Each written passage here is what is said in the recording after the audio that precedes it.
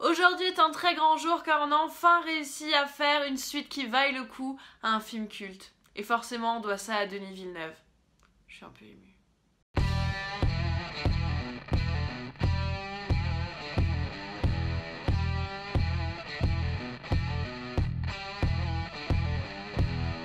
Aujourd'hui on va parler du très attendu Blade Runner 2049 de Denis Villeneuve avec Ryan Gosling, Harrison Ford, Jared Leto, Robin Wright et Amade Armas. Je vais commencer aujourd'hui par parler de Denis Villeneuve, hein, pour qui mon admiration sans faille ne cesse de grandir, parce que pour moi c'est un peu le seul réalisateur capable de faire des films d'auteur grand public, si je puis dire comme ça, et en même temps d'avoir une touche hyper personnel et une véritable manière d'interpréter les choses. C'est un homme qui insuffle de l'humanité, de la réflexion et de l'émotion dans tous ses films, quel que soit le genre qu'il traite. Ce qui m'épate avec lui aussi, c'est toujours la manière avec laquelle ses films sont vendus au public.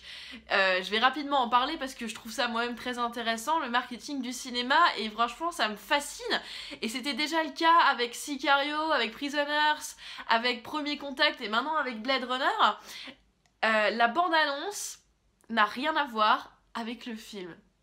La bande-annonce vous vend toujours une sorte de blockbuster, c'est comme une carotte pour attirer le public et quand vous regardez ça, enfin moi personnellement je dis ouais bon ça a pas l'air d'être transcendant, ça a pas l'air de casser trois pattes à un canard, on a déjà vu ça 100 fois, je me demande ce qu'il va pouvoir y avoir d'innovant là-dedans. Pour mon plus grand bonheur, la bande-annonce n'a jamais rien à voir avec le film qui lui est toujours 100 fois plus passionnant et 100 fois plus intelligent que la manière avec laquelle il est vendu au grand public. Et croyez-moi, j'étais un peu déçue quand j'ai appris que Denis Villeneuve allait reprendre Blade Runner. Je me suis dit, ah punaise, encore, ça y est, il s'est fait avoir par cette nostalgie d'Hollywood qui ne sait faire que des remakes, des reboots et des suites.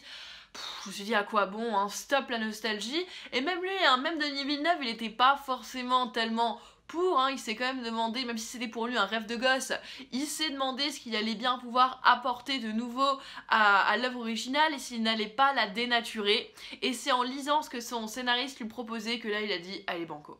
Et le pari est réussi parce que Denis Villeneuve ne dénature en rien l'œuvre originale, au contraire, il arrive à créer un prolongement qui est totalement crédible et qui n'enlève rien au premier film.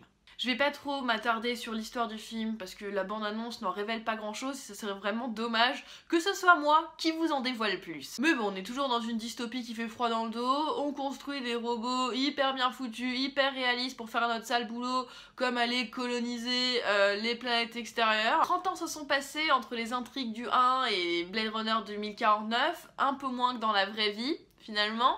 Euh, il y a eu pas mal de bouleversements dans leur monde, euh, on a créé des nouveaux modèles de robots, mais finalement les questions sur la technologie et l'identité restent les mêmes. Dès la toute première scène, j'ai été convaincue par l'esthétique du film et j'ai été contente de voir que le film allait pouvoir tenir les promesses que j'espérais qu'il fasse, c'est-à-dire euh, réussir à être contemplatif, à ne pas être dans l'action inutile et à vraiment prendre son temps pour nous installer dans l'univers et nous mener dans l'intrigue. La première chose qu'on se dit quand on regarde le film, c'est « Oh putain, c'est beau !» C'est d'une beauté à couper le souffle sur tous les plans les effets spéciaux sont parfaits, il n'y a pas un truc qui est pas crédible ou mal amené, c'est franchement hyper bien foutu. Ça cherche pas à vous en mettre plein la vue bêtement, hein, mais c'est grandiose. Il y a une vraie impression d'immensité, de désolation, de solitude qui émane de tous les plans, de tous les décors, c'est franchement phénoménal.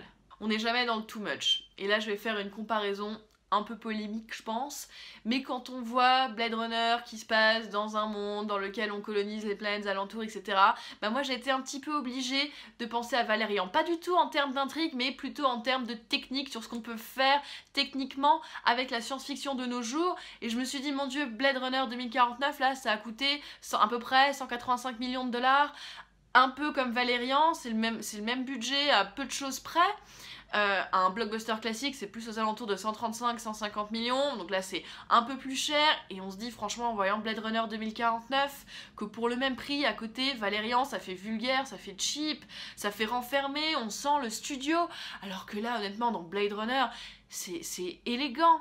En fait c'est d'une élégance, tout ce film est élégant. On a beau être sur une terre qui est désolée, dévastée, où rien ne pousse normalement, Denis Villeneuve, il arrive à jouer avec les couleurs pour faire étrangement transparaître les éléments, hein, l'eau, la terre, le feu. On passe d'un jaune pétant un rouge aride pour arriver à un bleu azur. Ça habille son film, ce n'est pas que gris et honnêtement, ce travail sur les couleurs ne peut pas vous laisser indifférent. Hein. Tout comme la musique, finalement, j'ai immédiatement reconnu la patte de Hans Zimmer. Certains vous diront qu'il se renouvelle pas trop cette année, c'est à nouveau une musique grave, assourdissante, blam, Blam Ça rappelle à mort les films de Nolan, hein, c'est clair, on reconnaît immédiatement la patte du compositeur. Mais honnêtement, j'ai trouvé que cette musique, elle était marquante, qu'elle fonctionnait dans l'ambiance, qu'on la repérait, on voyait qu'elle était là, qu'elle joue sur votre émotionnel et qu'elle vous plonge vraiment dans un état de mélancolie parce que c'est un film mélancolique et nostalgique, c'est une quête identitaire. Les robots ont-ils une âme? On s'est très souvent posé la question dans les films de science-fiction, hein, notamment par exemple dans Ghost in the Shell ou très récemment dans la série Westworld, et on n'a pas fini de se les poser ces questions parce que, mine de rien, pour nous, c'est encore des films d'anticipation, on vit pas encore dans un monde plein de robots, peut-être qu'il n'arrivera jamais, mais si jamais il arrive, on peut toujours se demander la question, se poser la question de savoir si les robots qu'on va créer à image Vont-ils devenir humains? Vont-ils avoir une âme si on les traite comme nous? Qu'est-ce qui va bien pouvoir se passer? Donc clairement, on repart dans les thématiques du premier film et on continue finalement de euh, faire découler la réflexion. Parlons maintenant des acteurs. Certains avaient des craintes sur Ryan Gosling, mais moi je trouve vraiment qu'il a justement ce regard tellement mélancolique qui colle à mort avec le film, avec son personnage. J'ai pas envie d'en dire beaucoup plus sur son personnage, ce serait une nouvelle fois un peu dénaturer le propos du film, le spoiler, etc. Mais honnêtement, moi j'ai trouvé parfait Ryan Gosling, il n'y a rien à dire, je trouvais hyper crédible dans son rôle, hyper agréable à suivre, enfin Bon, alors si vous aimez pas l'acteur et si vous aimez pas comment il joue, faut pas aller voir Blade Runner parce qu'il est vraiment à tous les plans pendant 2h45. Mais honnêtement, moi, je l'ai trouvé excellent, rien à redire. On pouvait aussi avoir des craintes d'ailleurs sur Harrison Ford. Lui-même était pas franchement emballé à l'idée de reprendre son rôle dans un nouveau Blade Runner, et puis on peut le comprendre. Hein. J'ai adoré la place qu'on lui donne dans le film. On le prend dans la continuité et on n'essaye pas de le rajeunir.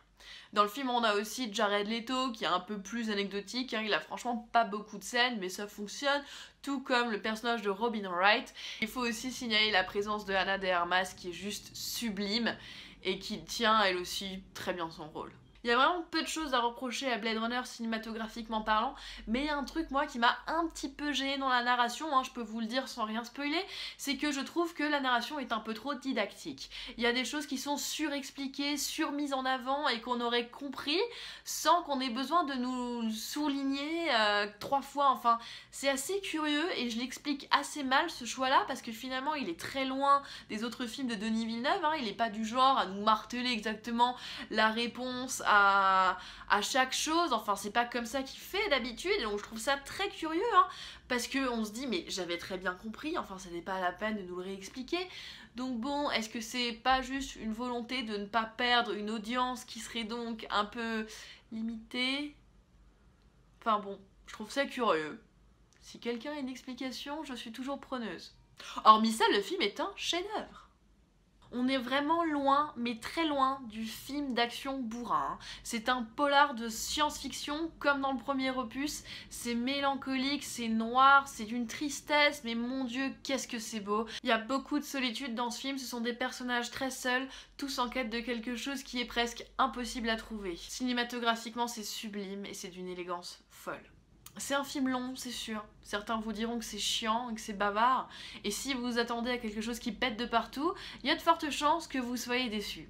Mais c'est un film contemplatif, servi par une réalisation sublime. Ça prend son temps, donc ça en perdra certainement quelques-uns en route. Mais si vous aimez le cinéma de Denis Villeneuve, vous ne pourrez pas être déçu par Blade Runner 2049. Ce mec a un talent qui me dépasse et vivement le prochain film. Voilà, vous avez mon avis sur Blade Runner 2049. Je vous invite maintenant à liker cette vidéo ah oui, tiens, à laisser un commentaire pour me dire ce que vous avez pensé du film, à vous abonner à la chaîne, mais je vous invite aussi à lire les critiques que j'écris sur mon Tumblr, à me suivre sur Facebook, sur Twitter, sur Vodcaster, et maintenant que j'ai dit tout ça, je vous dis à très vite pour un nouveau film.